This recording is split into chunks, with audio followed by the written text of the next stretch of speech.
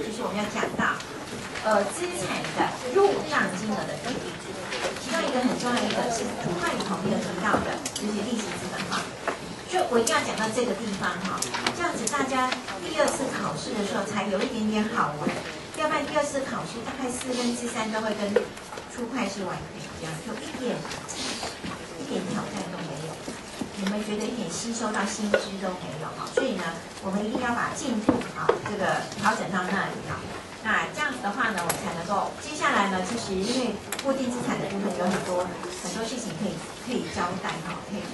如果大家有注意到，大家有注意到呢，最近这两今天早上我听到一个新闻，好，润泰全、润泰新这个新闻，你一定会很好奇哎，起码大家都没什么听说上个礼拜啊，因为上个礼拜五呢，我是哎这个学校办那个什么车礼，我是在校内。呃，姐妹，你没有这搬椅子吗？我我这边可以借你坐，因为我我不坐。啊？你说什么？椅子的作用。可是你这样子是方向性不对的。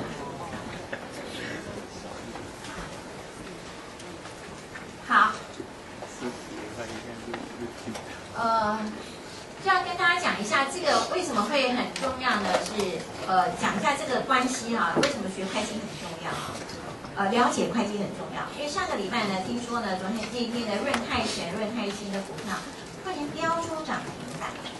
好，原因是什么呢？因为呢，他们公布他们的第三，就是前三期的财报呢，赚了多少？一个赚了五十八点多，一个赚了二十六块多，EPS 哦。前三季就赚了这么多，那远远超过之前他们给的水准。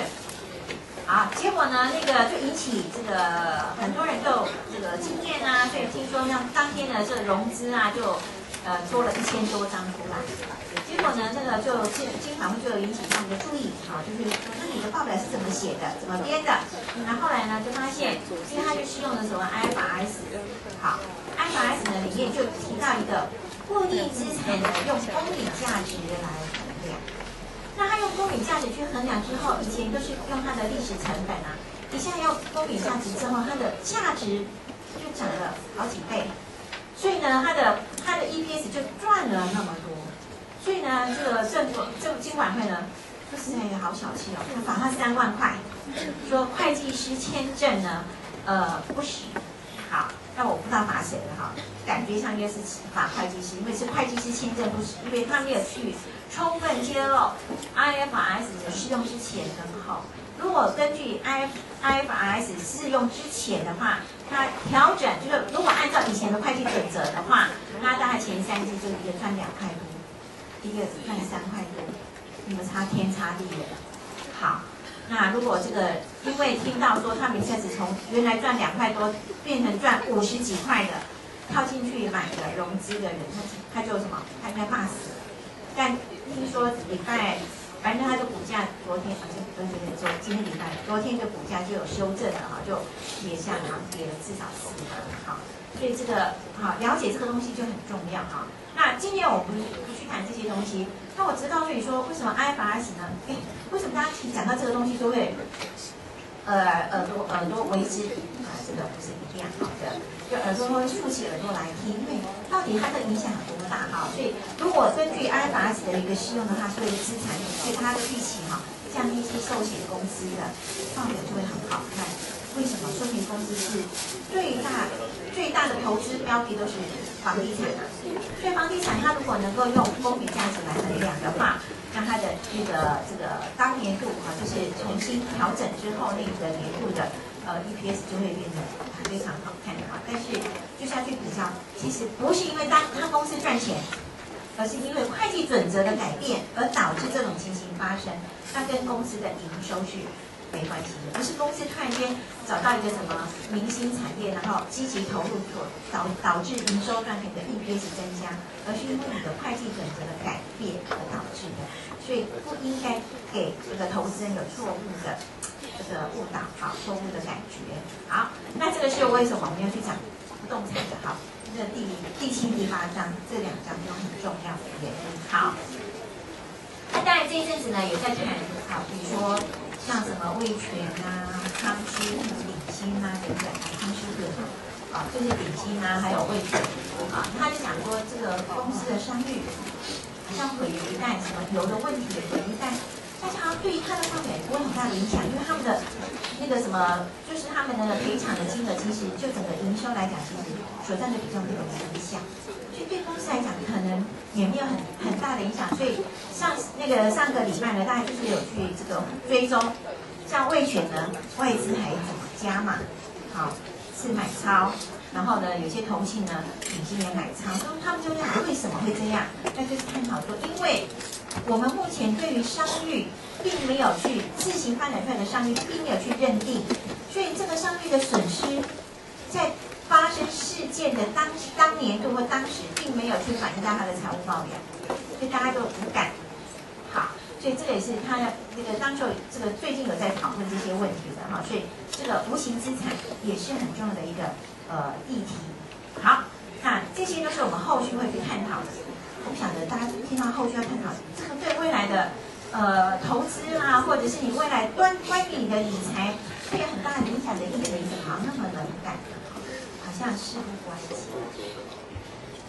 我去引述这些事件、这些新闻，就是要让提醒大家对于学习上面的一些什么热情，以后会关系到我未来怎么去理我的财，我怎么去做财务规划，你不是应该更多的关心才对吗？好。好啦，那你们无感，我也不能跟着你们无感，就只好继续进行我的课程啦。那我们接下来看一下呢，第六章。好，所以第五章我们讲完哦。第六章我们先讲存货。那我们讲存货呢，基本上存货它也分成一些好前半段。有一谈到存货，存货谈论的时候有两个。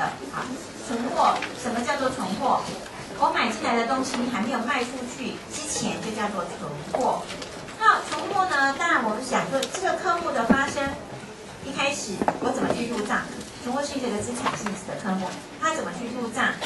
那存货持有当中会发生什么事情？以及期末评价，当然一样三个问题。就像我应收账款、应收款项一样，应收款项这是一个资产性质的科目。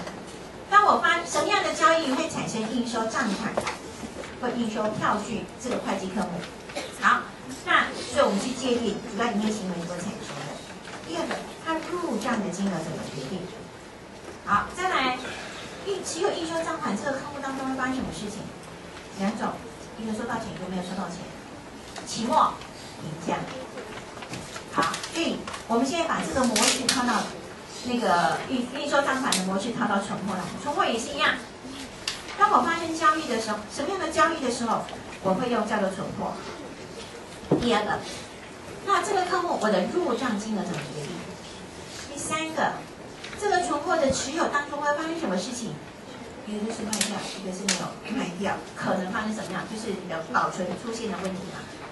再接下来就是期末评价的问题。所以应收账款要探讨的几个时辰，在存货也完全一样。好，所以第一个我们要来探讨什么情况之下我用存货这个科目。第一个存货是。公司打算企业持有它的目的是要卖的。如果企业持有的目的是要自己用，它就不叫存货，看清楚吗？我们冷气机买进来自己要用，固定资产、办公设备。如果我冷气机买进来，我是准备要卖的，就是存货。我买这栋大楼下来，是我办自己要设办公室的，就是我的不固定资产、不动产堂及设备，就是不动产。如果这个办公大楼买下来之后，我准备要卖的，就是存货。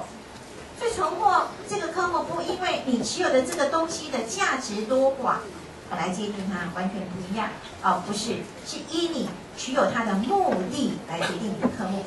好，所以第一个，你先了解什么样的情况之下会产生存货。第二个，你存货入账的科目跟它的金额。本来我们在讲它的入账的金额怎么决定。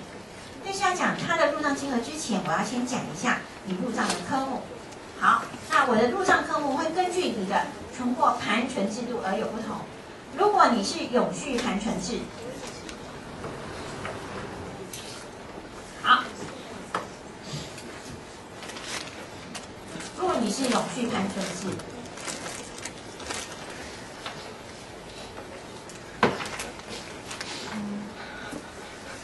如你是定期盘存制，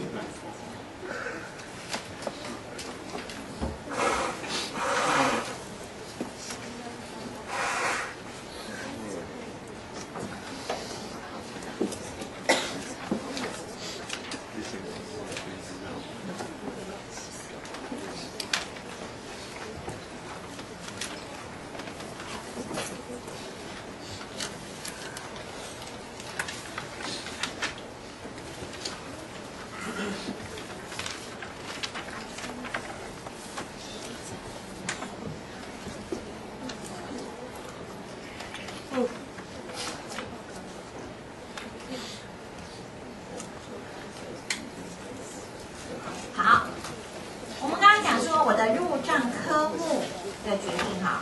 刚刚先界定什么样的情形之下的呃用科用存货这个科目哈，就是说不是呃列为流动资产，不是列为固定资产，或者是呃不是被动的科目呢，就是看你持有的目的。那我们接下来谈说，那你要入账的金额决定之前，我先让先请大家确定一下你入账的科目。好，如果你是盘权制度是采取 perpetual，跟盘权制度是采取 periodic。好，那因为产业的同学呢会讲说，我之前用的是原文，所以我不知道什么叫做定期。好，我就告诉你了，以前我们叫做定期就是 periodic。我不知道什么叫做永续，告诉你就是 perpetual。好，我的名称交给你了。然后告诉你说，如果你是买进来的时候，这两个盘旋制度它的科目怎么用？如果你卖掉的时候，这两个盘旋制度的交易分录会怎么写？你只要写科目就好了。好，有没有人这边上来写？我想，这样我想让赶快赶快，但是还是要让大家有一点点呃参与感。好，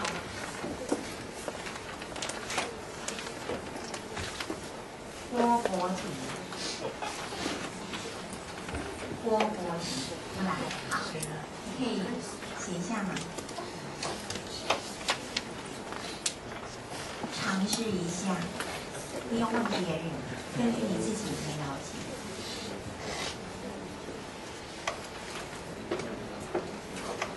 那你先选，你喜欢写有趣还是喜喜欢写 periodic？让你先选，放弃这个选择没问题。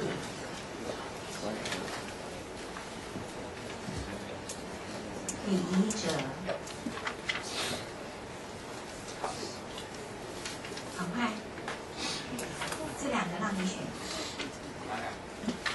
永续跟定期。periodic particular，然后呢，四个，好，这边有四个了哈。你是永续的买，或者是选择永续的卖，你选择定期的买，定期的买，有四个，四个那个问题让你看你要先写哪一个。好，赶快哦，李成浩，李成浩，没来吗？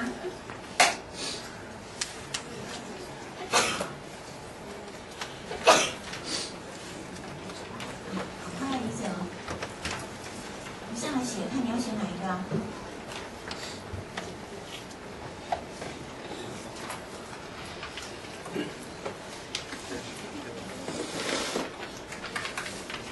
好，李成浩不在。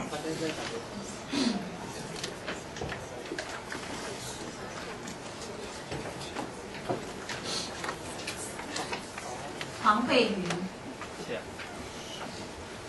黄慧瑜，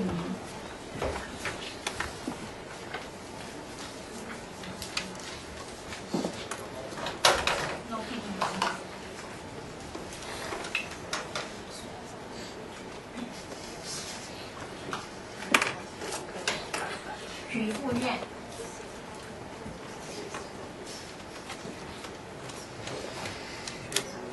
挑一个写好，现在呃挑三个里头，你现在一个可以挑而已。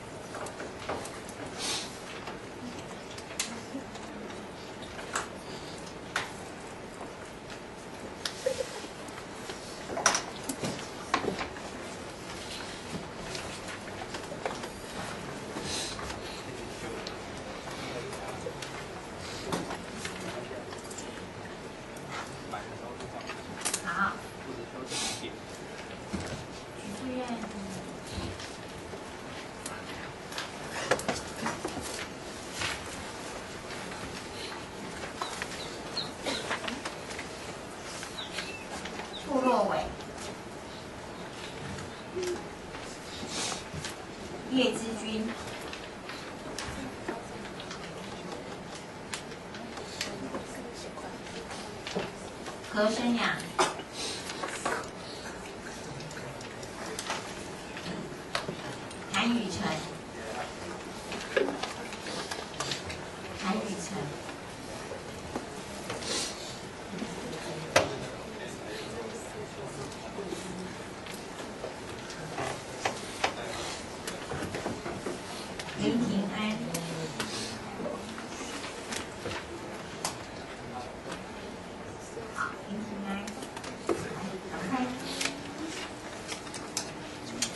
黄天仲。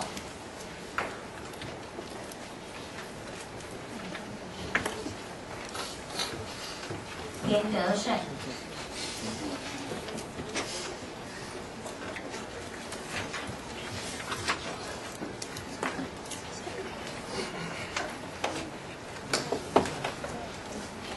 朱子祥，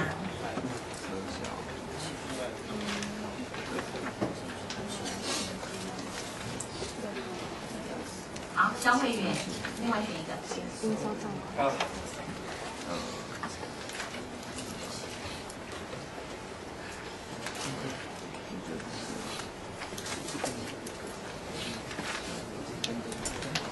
赶快哦！谁先谁先上来是谁先抢到你要写的，不用带书啊，就是要写科目，跟课本没什么关系啊。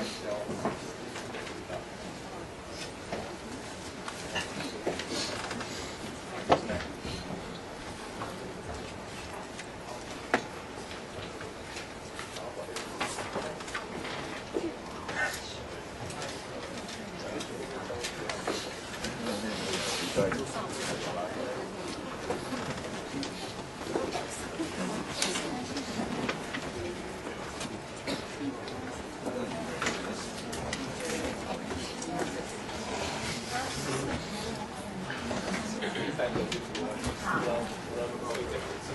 好。李欣颖，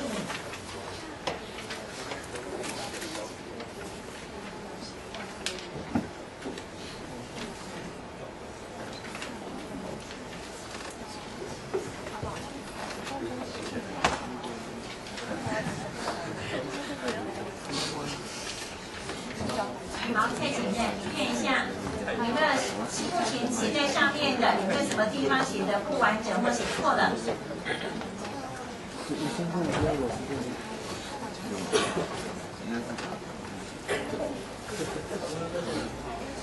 好，都写的很好吗？好，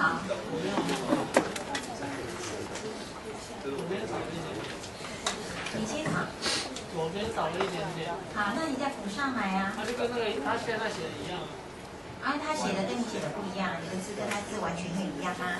你建议帮我写一下。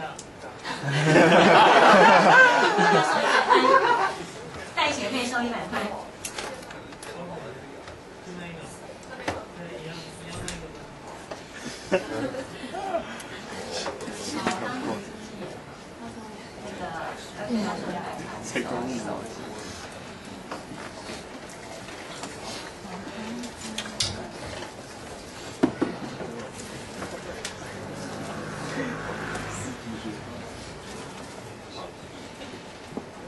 好，谢谢这四位同学。好，那我们来看一下哈，这两个，但这样这里写的都对了。好，那我要告诉你说，在永续盘存制，因为我一开始交易发生的时候，我就是借记存货，因为等于存货。那存货呢，它这个科目是属于资产性质的科目。那如果是定期盘存制，它叫做进货 purchase，它是一个什么费用性质的科目。好，所以你要知道它两个有什么不同呢？这个是一个进货，这个科目是费用性质的；存货它是资产性质的科目。好，那买进来的时候，在永续盘存制，我就直接用存货。那如果是定期盘存制，我就叫做进货。好，接下来如果跟进货有关系的，我本来中间想说写一下跟进货有关系的，比如说我的进货的呃折扣、退回与折让，好，退出与折让。如果用永续盘存制的话呢，我就直接借应收账款贷我的存货，直接就贷存货。我从头到尾都用 inventory 这个科目，我的数字的增减变动，我都直接用 inventory 这个科目。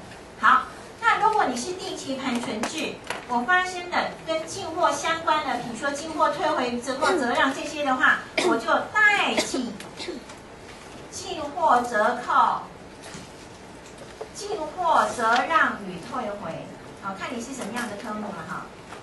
进货退出与退与折让，好都可以的。好，切记应收账款，就是这个科目。来看一下，应付，这是应收，好是应付，这个也是应付，好。我是是我是买东西要付钱给人家，好，所以呢，你可以发现，在定期盘存制之下，我会发现的会计科目比较多，因为你会加进货、进货折扣、进货退回与折让。那除了这个之外呢，如果我有运费，好，如果有发生运费，好，如果是运有还有发现运费的话呢，在我们的永续盘存制。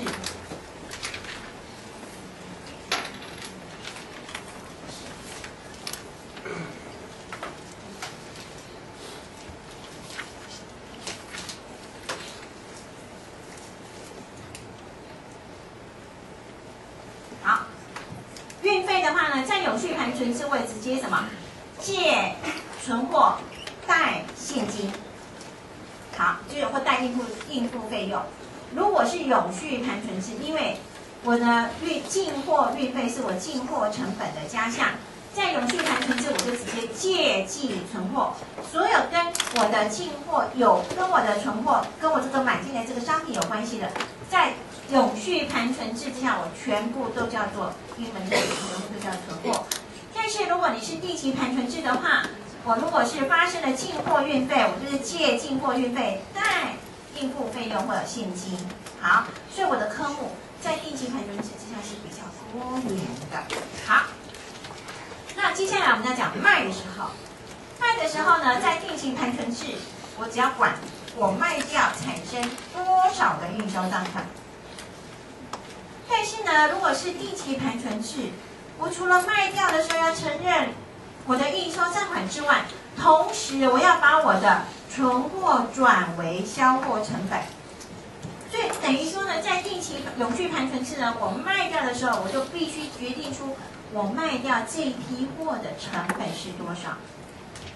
因此，在定期永在永续盘存制之下，好，其实为什么要叫永续？因为哈，它是一个。实账户资产是实账户，为什么它定期好？因为呢，它是一个时间一个时间来算的，所以费用是一个什么？会计期间之下所产生的费用科目，好，所以你也可以这样子去把它 match 起来。为什么它是这个名称呢？哈，好，那我重点要讲的是，在永续盘存制之下，因为我卖掉就卖掉的时候就可以知道，就要决定出我的销货成本是多少，我卖掉这批货的成本是多少。所以在永续盘存制，我随时在账册上面就可以知道我目前剩下多少的存货。也因为我知道我剩下多少的存货，所以等于是什么？我随时可以在我的账册上面去掌握出来我有发生多少的成本。所以我可以从我的账册里头就可以先算出、先结算出我的。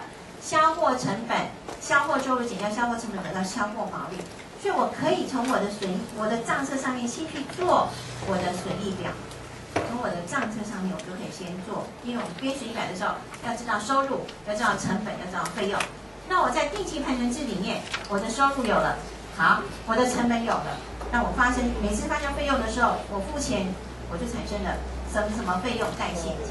这费用科目也一定在我的账册上有了，所以这个永续盘存制，我的一个名称又叫做，哇，那个红色好，又叫做账面盘存制，